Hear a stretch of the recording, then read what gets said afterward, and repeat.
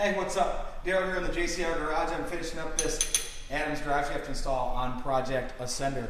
We're actually getting Ascender ready uh, for EJS a little early because we have a super busy March finishing Crusader. So this is the 1350 drive shaft from Adams. We had a 13, uh, kind of a combination. There was a 1350 at the uh, yoke end and then a 1310 or a 1330, I can't remember at the transfer case end when we put the rock or when we had the Rock-Trac in the factory Rubicon case. But we installed this fancy Atlas two-speed just recently, so we had to uh, change drive shafts unfortunately. So we went with Adams again. Uh, we have Adams on every Jeep here at JCR Off Road. We've yet to break one, which is crazy because I drive Jeeps, you know, rough in the parking lot, even let alone off road. So this is a 1350, 1350 CV style yoke right there because we have tons of room uh, now with the Atlas compared to the uh, New Venture, I guess they are now. And then a 1310, I'm sorry, 1350 at the yoke end here. And then we have the same in the rear, uh, 1350 Adams at the yoke, and then a 1350 CV uh, flange style kind of up there. Let me grab this this light here, and we can go on a tour of Project Ascender under underbody upskirt tour. So this is the front Frontera 60. Uh, this thing is fantastic. We went with the 67 inch WMS to WMS and an ARB locker. Uh, of course, RCVs in there. We run RCVs and everything there. Just absolutely fantastic. This axle, I love these. I love these Tera 60s. They go together awesome. They're very well thought out. They are built right here in America, which is super cool just great axles all around. And then we're running TeraFlexes, heavy duty, tie rod, and drag link. And this is uh, the JK style ends, I believe, but it's just whatever size matches uh, this axle width. A Redneck Ram from West Texas off road has been fantastic for us. Uh, Cameron did a little bit of lettering on there. But yeah, this is great. Turns those 40s without any problem whatsoever. Speaking of 40s, we are running Nitto trail grapplers in 40 inch by 13 5 17 uh, wrapped on some trail ready bead locks. I love these bead locks. Uh, it's kind of hard to see in pictures sometimes, but it's satin black on the wheel and then it is gunmetal on the ring. And I, the contrast, the contrast, sorry, just looks fantastic. So we love those. TeraFlex lockouts are really, really cool design. They're kind of loosely based on the old Spicer lockouts, which were some of the best ones. So super happy to see that. Uh, in the rear we have a CRD full float Tera 60, same dimensions. We have our truss there for the long arm. And the cool thing about the CRDs is they use factory JK backing plates and then any of the TeraFlex big brake kits obviously for the JK will work on there. So got a TeraFlex big brake kit basically with, with parking brakes and then you can run these uh, cables here just factory parking brake cables. So you have parking brakes on a full float Dana 60, which is super cool. And if you're not super familiar what full float does, if you see this right here, this is actually the axle shaft.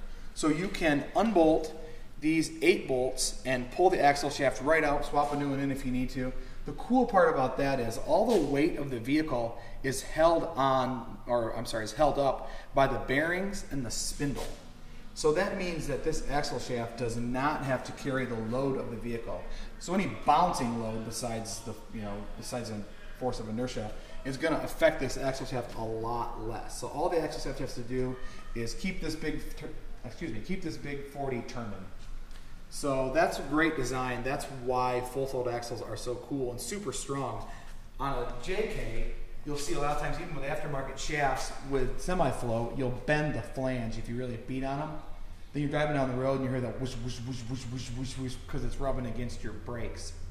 But on a full float, you have to work. I mean, you have to work insanely hard to bend a spindle. So then it's it's bigger bigger axle time. So full floats are super cool. If you didn't know how they work, that's how they work. You can actually put a lockout here if you wanted to. You could do a double spline axle shaft and for whatever reason, if you wanted to, they make Dana 60 lockouts here, and you could have uh, rear lockouts if you wanted. Uh, that's what else? Oh, the Rock Krawler long arm.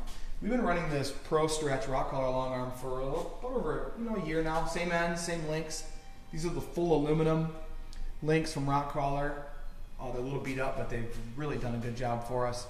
But recently we upgraded to coilovers. So we're running the Rock Krawler Prodigy coilovers. Really excited to see those out on the rocks. Pete has them in his Jeep and he loves them. So uh, what, what you can do, if you see there's two rates, there's the upper rate and the lower rate for the coils, and there's a slider between them, bet- between them. And if you look, you can see there's a little slider right there that can thread up and down. So what you can do is you can thread that down, and then this slider right here will contact it at a certain part in the travel. So you'll transition from this lower rate upper coil to this higher rate lower coil. So you can actually change how the suspension, you can change the coil, the spring rate rather, as the suspension cycles, which is pretty neat, and that's all adjustable. So you can suit that to however you like it. So that's cool. Uh, this is Rock Krawlers cross member or skid plate. We've been running that forever.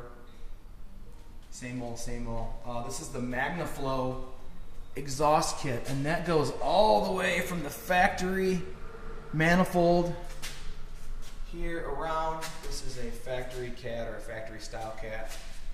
And then we have a MagnaFlow 14 inch stainless muffler, I believe, kind of snuck up there with a little bit of grease on it from the old CV. And custom stainless piping besides that. So a triangulated four link in the back of a TJ gets very tight. So you can see there's not a ton of room there, but we got it snuck around there. It works at full compression. No problems with that. Polished MagnaFlow tip kind of hiding, tucked up in there. We'll see how long it lasts. I'm, I'm guessing it'll be okay, but you never know. This is our new Dagger rear bumper for the short wheelbase. No hitch, no provisions for a tire carrier, but awesome clearance. Super duper low profile. You can see the breakover on that is fantastic. And then our short wheelbase gas tank skid.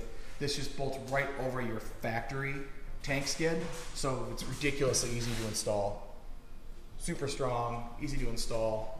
These limit straps are from Bartact, and they are very beefy. They're four ply, I guess call it, all stitched together with some heat treated 4130 tabs because insane amounts of overkill, but they don't stretch very much. And with all this weight on here, that's good. So a lot of people don't know that Bartact actually makes limit straps. They're very, very nice pieces. What else is going on? ARBs, front and rear. In this, I may have mentioned that already. And I think that's pretty much it for a tour of this guy. It's our inner fender kit that really looks nice. Cleans everything up. Oh, we're running a TeraFlex trail only sway bar. So they do this in a trail rate, which is single rate, and they do a dual rate, which is a bar inside of a bar with a lockout mechanism that goes on the driver's side. We have that on Real Hawk. We drive that on the street a little more than this. But yeah, this trail rate is really good. Yeah, I think that is it. So, you know, thanks for hanging out with me on a tour of Ascender. And we should be good to go and ready to hit the Red Rock.